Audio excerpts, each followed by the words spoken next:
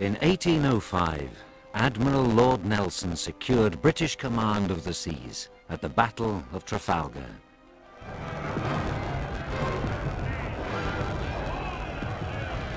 This is his flagship, HMS Victory. Yet, just a few decades after Trafalgar, warships like Victory were totally obsolete. Located near to the home of Nelson's ship is the nemesis of the warship, HMS Warrior.